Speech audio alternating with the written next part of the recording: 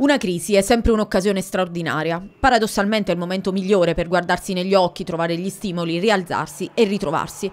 L'Avellino non solo può farlo, ma ha anche l'obbligo di svoltare in una partita sulla carta abbordabile, ma significativa.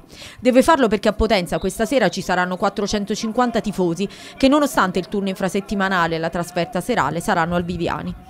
Pazienza dovrà avere l'ambizione di continuare la striscia positiva fuori casa e cancellare al contempo i fantasmi di domenica.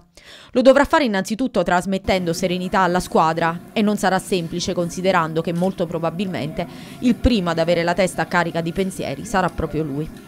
Il 3-5-2 dovrebbe essere il modulo di partenza con Ghidotti in porta, la linea 3 composta da Cionec, Rigione e Frascatore, a centrocampo Ricciardi e Tito sugli esterni, De Cristofaro e Armellino, con Palmiero che tornerà in cabina di regia. In avanti la coppia Sgarbi e Gori, con il Toscano che tornerà dal primo minuto approfittando del turnover.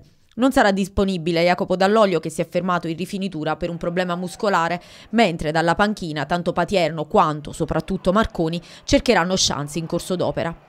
La speranza è che si riaccenda la luce, che si porta a guardare al futuro con maggior ottimismo e che da domani si riveda splendere tra le nuvole qualche sfumatura dell'arcobaleno.